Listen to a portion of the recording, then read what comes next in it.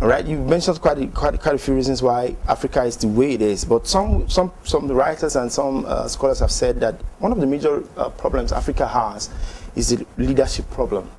In your opinion, sir, how do we reverse this trend? Firstly, the challenge with leadership in Africa, and that is actually a major reason for the backwardness of Africa. And part of the problem is, uh, if you go again back into my book, I I argued that even the colonial masters, seeing that they have to leave, created a system that made us at fault from the beginning. They took tribes that were smaller and placed them on the bigger ones. And sometimes they took tribes that were not that educated and gave them the impression that they are the political masters while the tribes that are educated were told that they are the technical or technocrats. So those who were told they are the political masters always felt it was their birthright right. to rule. And it's the same in Nigeria, in Ghana. It was the cause of the problem in Rwanda.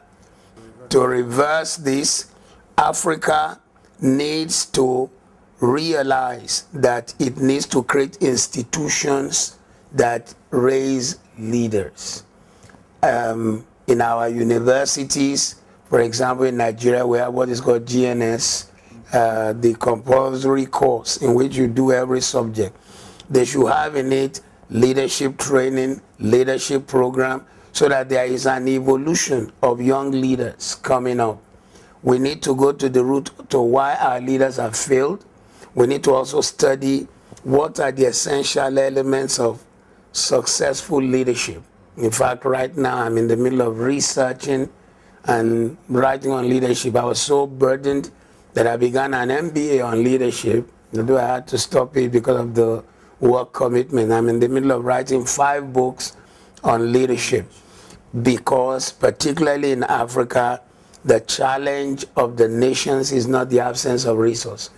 Our resources are great, and our people are hungry to do to work, to achieve, to succeed. They have passion. I live in Europe. I've lived in Europe 29 years. And I would rather take an African young person than a European person who is very laid back and who is not interested in pursuing anything. And part of the way is to correct the leadership challenges, develop new leaders, pick on the new coming generation, create systems to help them build their mind. Number three, develop their capacity. If you look at those whom we call our leaders today, they are leaders because they are tribal leaders. They came in on the basis of tribe.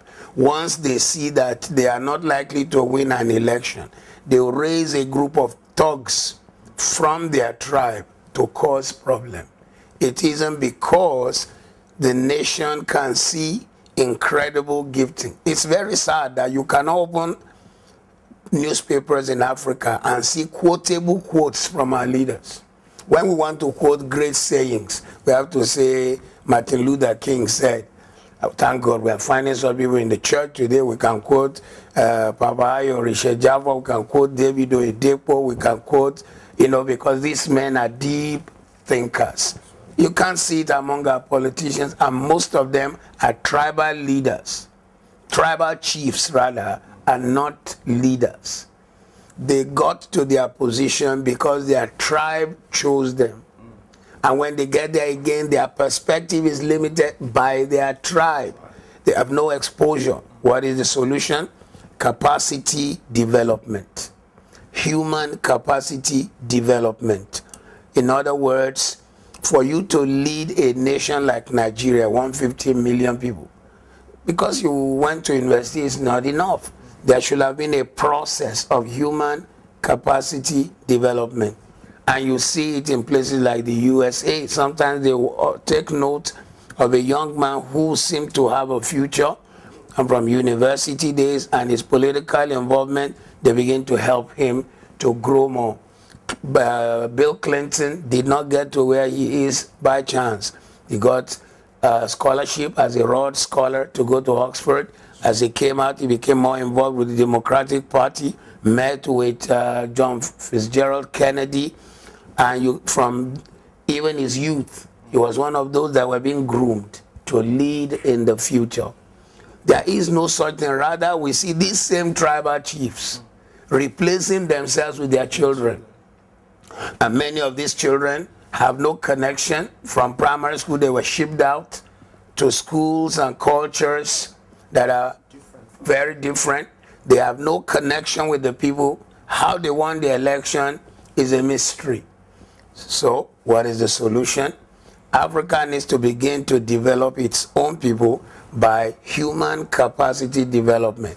And human capacity development must start with changing curriculums in our school.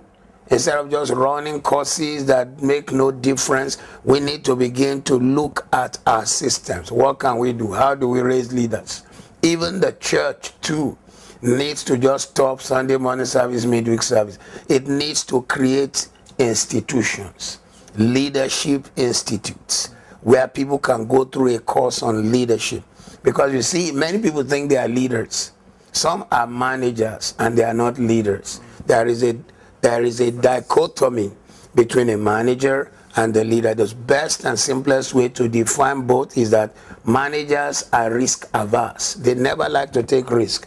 Leaders are pathfinders. They go where no one wants to go.